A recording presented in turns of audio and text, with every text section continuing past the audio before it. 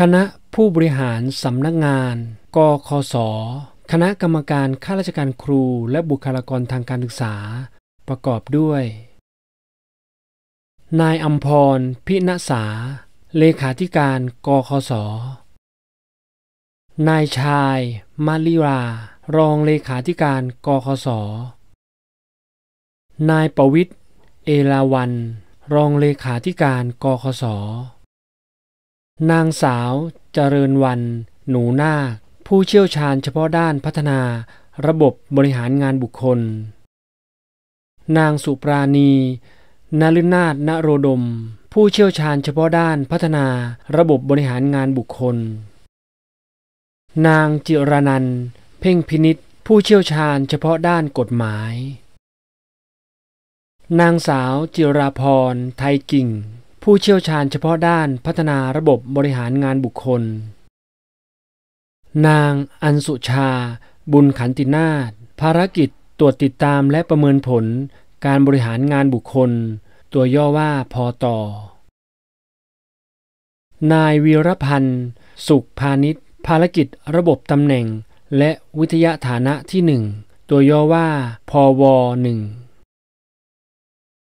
นางสิริสจี จินดาไมภารกิจระบบตำแหน่ง และวิทยาฐานะที่สองหรือตัวย่อว่าพอวสองนางนาริวัน จันทบาล ภารกิจนโยบายและระบบตำแหน่ง บุคลากรทางการศึกษา ตัวย่อว่าพอคอนางสาวจารุนัน แก้วทองนาคภารกิจนโยบาย และระบบบริหารงานบุคคล ตัวย่อว่าพอบนางนภารัตน์สัมพันธ์พักดี ภารกิจ เสริมสร้างและพัฒนาประสิทธิภาพการปฏิบัติราชการ ตัวย่อว่าพอสนางทิพภาษี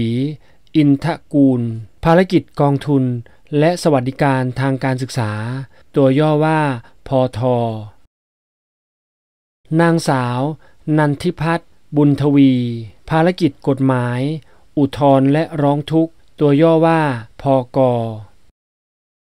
นายมนเทียนโสพล ภารกิจเสริมสร้างและมาตรฐานวินัย ตัวย่อว่าพอมนายนิพนธ์เบญจกุล ภารกิจบริหารการเปลี่ยนแปลง ภาครัฐ และนโยบายพิเศษ ตัวย่อว่าพอปนางสาว ออนวดี ธานี ภารกิจวิจัย นวัตกรรม การบริหารงานบุคคล ตัวย่อว่า พอจอ และนางสาวประภา นิ่มนวล หน่วยตรวจสอบภายใน ตัวย่อว่าตอสอท่านสามารถติดตามข่าวสารข้อมูลดีๆ มีสาระได้ทางเพจ ใน Facebook พอหนุ่มครับ ใน YouTube พออหนุ่มครับ และอย่าลืมกด Subscribe และกดกระดิ่งไว้ เมื่อมีวิดีโอใหม่มา ท่านจะได้ชมก่อนใครครับ